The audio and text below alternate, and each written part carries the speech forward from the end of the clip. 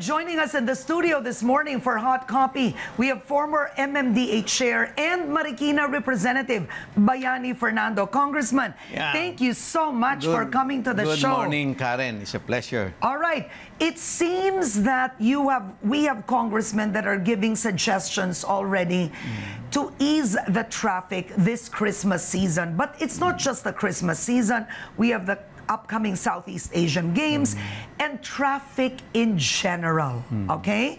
I want to ask you first, do you agree with Congressman Benny Abante's uh, recommendation urging private companies to do the four-day work week this December? Four-day work week in December. Well, some companies may have been doing that by now, no? And uh, it's going on on a voluntary basis, depending on the kind of operation of the company. There are companies that really may not be able, may not be, they may not be as productive doing that, no? So it's got to be on a voluntary basis. Okay. But you don't think it will make a big difference Not much. in terms of easing e- easing traffic? Uh, not much. I think uh, be- better if we ad- they'll adjust their ano, their office uh, time. Okay, the office Uh, time may office time, help yeah. instead of uh, having a four-day work week, Yes. which can actually affect productivity and income. Yes. Uh, Okay. uh, I, I, because right now, in my experience this morning, I left the house at five o'clock, afraid that I might be caught in traffic and be, not be able to be here on time.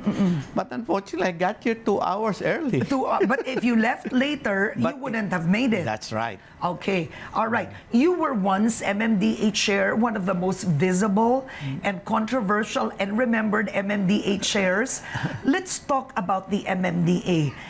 Does the MMDA, frankly, have enough power? Yes, uh, yes and no. Enough Okay. power to, to, to, to supervise, to manage the traffic, no? But is that the only job of the MMDA when it was formed? Is it just really to manage traffic? No, it's got so many functions. Like uh, they have to attend to the flood control, uh, health, and uh, other. I think there's about seven mandates of the MMDA. Okay, because uh, Senator Tolentino says that the MMDA, uh, through RA 7924, was already given all power and legal authority uh, to address the traffic problem. And he claims the law includes the provision of mass transport system. Does this mean that the MMDA is technically allowed to operate the subway, the LRT, the MRT? It is. The MMDA is allowed to do all this, no? They have the full authority, but through the Office of the President. But unfortunately, like uh, providing this transportation, actually is being handled by the national agency, the OTC, the, the, The OTR. OTR. And uh, only through the president's direction can it be transferred, the full responsibility on this, be transferred to the MMDA. It's just like the flood control, which was transferred by the from the public works uh, only about uh, in my time as a chairman.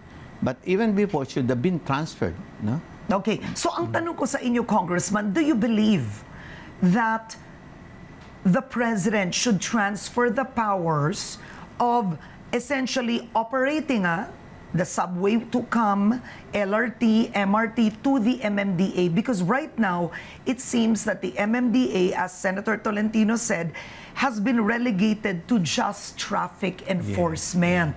What do you think should happen? I think it's about time that we start uh, the, this this thing because it's as envisioned, no? and I think that because the national agencies may be too busy now in other areas, no, Davao, Cebu, all over. So they might as well relegate this job to a, a an agency like the MMDA who can be focused on on uh, on this. Okay. Other than the law, no, giving all the powers to the MMDA, technically when it comes to traffic and transport, commuters, my question is, what kind of power do you believe should the MMDA have or responsibilities it should have that could really help solve traffic? Uh, the power to legislate, to enact laws, to Oo, ang make MMDA. ordinances. Like, which, uh, okay, go on. How? Well, because uh, b- uh, the, the court said that we do not have that, they were not a political subdivision. So we cannot legislate. So anyway, I have a solution to this. Oo. But give me an idea. Let's say if the MMDA was given power to make its own ordinances, is that correct? yes. I mean, what are you envisioning? Like, what ordinance could the MMDA make or do that you feel would easily change things? Well, it ac- actually uh, solved the problem of uh, this, uh, yung kanya Every local government has its own regulations, where in fact, that is actually relegated to the function of the MMDA. For MMDA to have a one single ticketing system, it never been done. No? And each one has its own regulation, no uniformity. So it's, uh, the, the, the, the motoring public would be at a loss or would not know what would the, the, the, the rules to follow. No? And they will not even know where they are because the boundaries here are really ano, not, not known to, Oo. to, to people. So the, the, the big problem. So we, we really have to resolve that issue because the, the problem, the, the, when the MMDA law was created, they, they actually had this problem of uh, local autonomy. And so, just to at least go around it, they made the MMDA under the office of the president, and the chairman was made a member of the cabinet. That's all. But actually, uh, uh, in my time, no, and really kind of difficult. I, the MMD have prepared a, a good single ticketing system for Metro Manila. In that way, we will not have this problem for 500 apprehensions and not Yeah. and have not paid. That would have been resolved long ago. And uh, so uh, that's the you know. Uh, I, but anyway, if we could try this uh, or the, this this law, uh, this bill that I have presented to Congress. Okay. Uh-oh. So what do you call the bill? What do you call the bill? It's actually to strengthen the the Metro Manila Council Oo. uh, to give it uh, a little ano uh, a way in wh- wherein the the Metro Manila Council composed of the mayors can actually come up with uh, ordinances no but they have to be uh, presented to the 17 local government councils yung mga sanggunian Oo. But For- then you're saying they have to agree that it's a uniformed, it's uniformed Yes, all yes, over Metro yes. Manila. So, with, with the, the proposed ordinance uh, approved by the mayors, no, sitting in the council, Yeah. now they'll be presented for, for uh, to the 17 local government on a yes or no vote. Okay. And a uh, simple majority would decide on it. And so every local government will have to follow what's in, what's in that law. Okay. Yeah. But then, uh, I wanted to ask you, given RA 7924 says the law includes that the MMDA is in charge of the provision of mass transport, do you believe that the MMDA should go as far as, for example, make the plans for the subways all across. Metro Manila and actually bid it out and run it?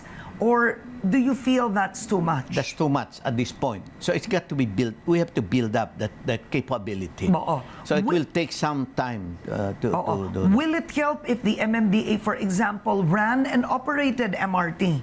Or do you feel it's it, it won't help? Uh, uh, it's a transfer of hands. Well, actually, uh, the, the, the idea, I think the plan of the, the Department of Transportation is to have these operations by private, uh, na, Yeah. be done by the Oo. private. Uh, uh, but I think that would be you know, uh, a reasonable. Ano.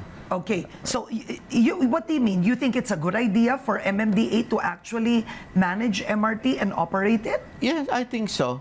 Because uh, right now, the way, uh, the way it is running now doesn't seem so good. No? Yeah. So, so might as well have a, an agency, like the MMDA, to, hand, to handle it anyway, that they focus. No? So Oo. it can be well coordinated with the other transport systems all over. Is the MMDA frankly weak? I mean, we depend so much on the MMDA, we blame it for traffic. But yet, my question is is the agency weak? Weak, really weak. Not the leadership, I'm not talking about the leadership. The agency. In other words, we expect so much from MMDA, Yeah. and yet, do we also give it the power and budget it needs? Yeah, weak because in this, first of all, got no unity of command, no? Which uh, no, because of that local autonomy. Oo. Uh, So, So the have to do mayors can reject. MMDA, do their own thing. Budget-wise, uh, each local government contributes 5% of their income to the, for the operations of the MMDA. But that's not enough. Yeah. And so depend there also is MMD is still dependent on the national government.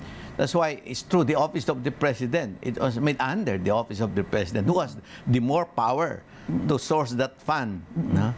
So unfortunately, uh, it's not not happened. no? Okay.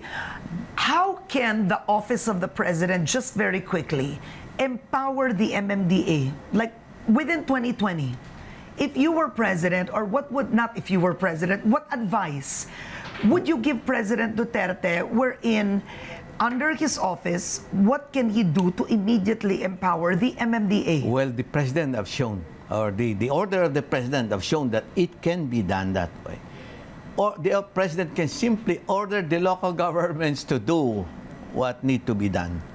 Uh, When he, he ordered all the local governments to clear the roads, Nag-clear. yeah, that was good, uh, no? huh? Yeah, political will. But in my time, Yeah. now I really have to do it myself, no? Uh, because uh, no, nobody would want to touch that because of that local autonomy. Not even the president then. Before, yeah. Uh, was uh, kind of, ano, can, can do, sim, the, until now, that it has, the, the president's, with the president's si- order, everyone followed. I think that's a good presi- president. Mm-hmm. Okay. Yeah. Uh, would emergency powers help? Do you think President Duterte should have emergency powers to solve traffic? All along, I know, I think the president has that power. eh. So he doesn't need emergency He doesn't powers? need. eh, Yes, that- that's the good example. Eh. When he ordered all the local government, they all followed. What else can you ano? Can you give back to any ano any any uh, any traffic czar? They cannot have any power as great as big as that of the president. All right. What are your suggestions? I know that you've always recommended, it's already been a few months, you wanted the revival of the old bus system, right?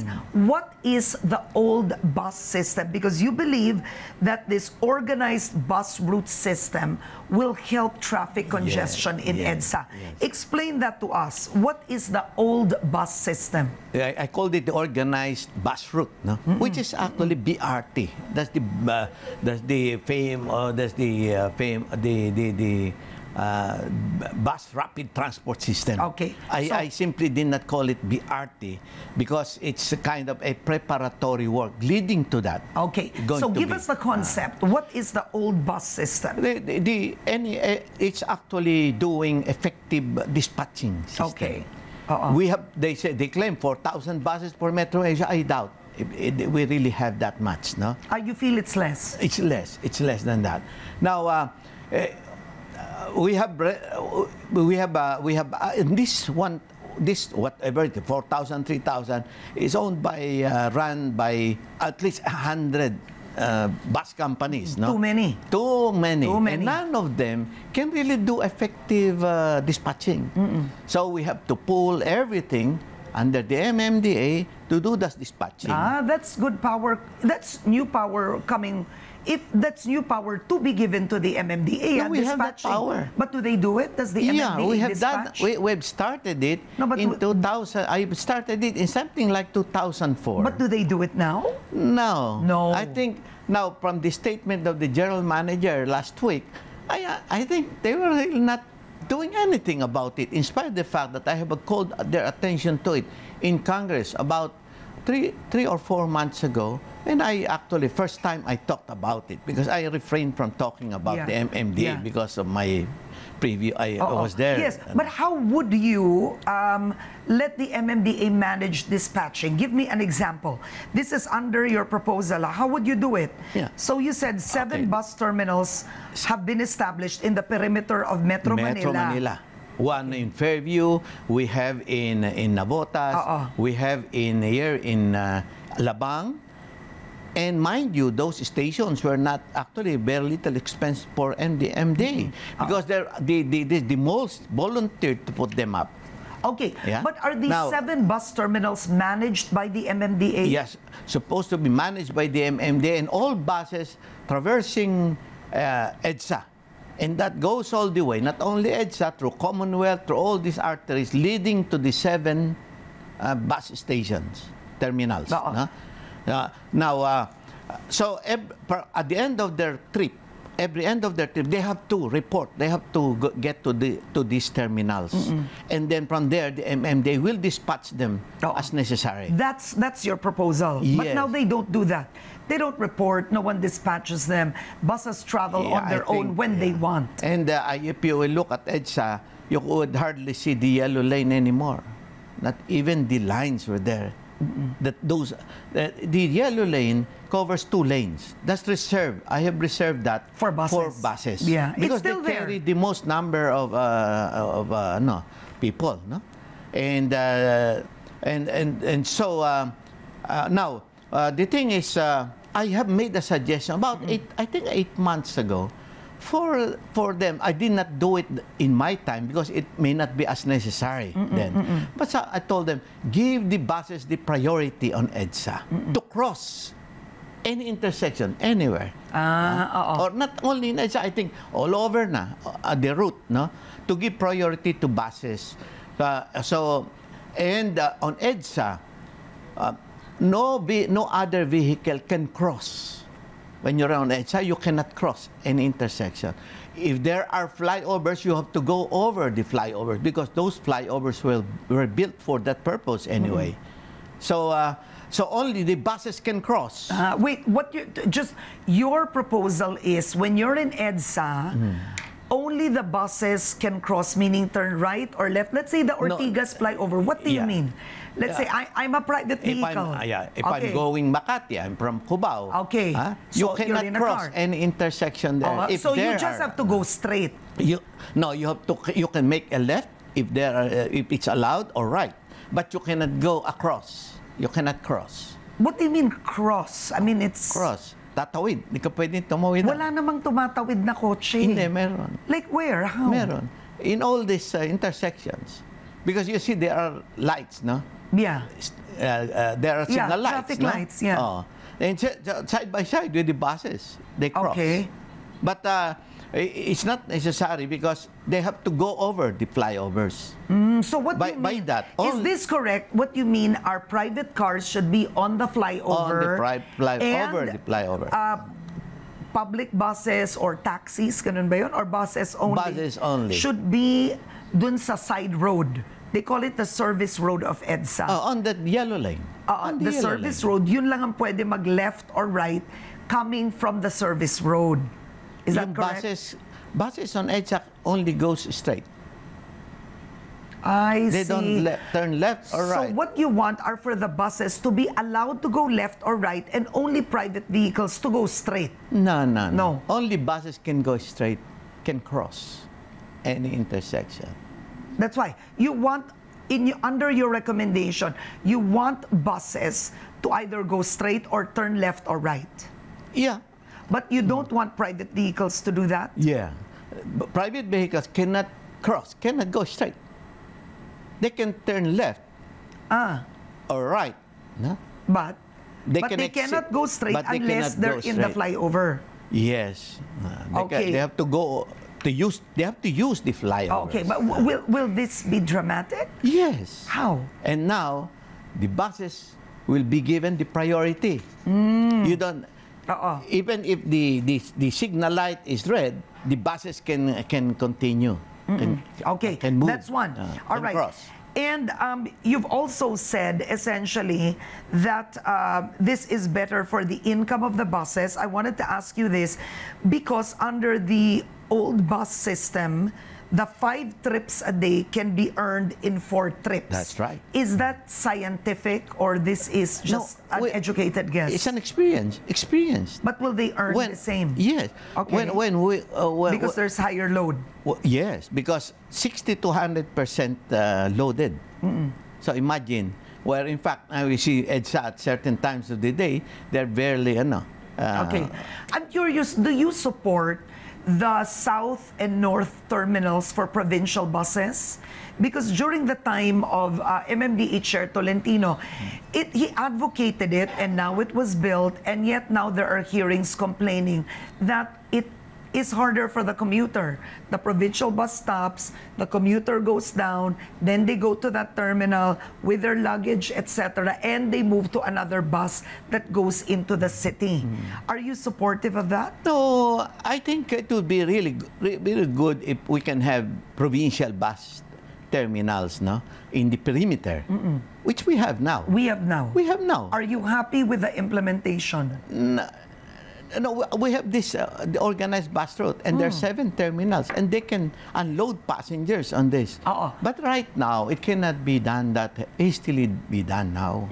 We have to give it time because we first have to have this organized bus route uh, operational, no? an optimum.